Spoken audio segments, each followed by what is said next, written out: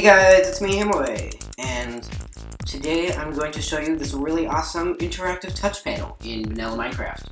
Sorry I haven't posted in a while, just been kind of procrastinating to post some of my videos. I have a ton, I have a ton of that I made.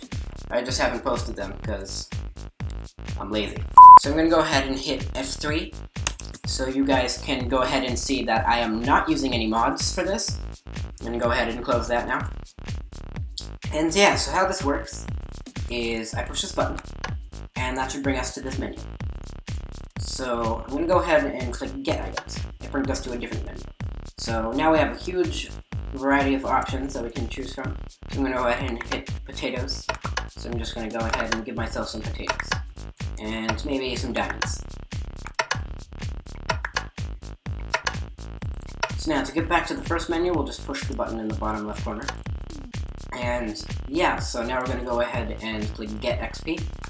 And that should have given us one level, two levels, three levels, four levels, and you can just keep hitting that. So I'm going to go ahead and click Get Armor, and now it should bring us to the Armor menu. As you can see right now, I have no armor on.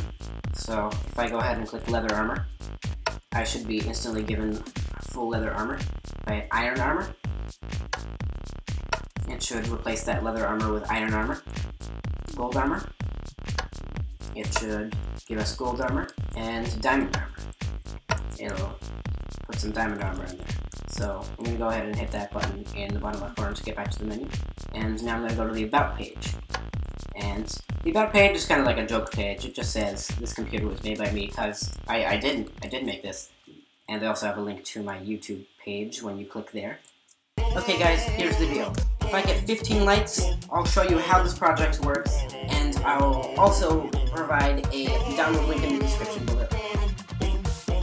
I also have a website where I post all my awesome Minecraft commands. If you want to go ahead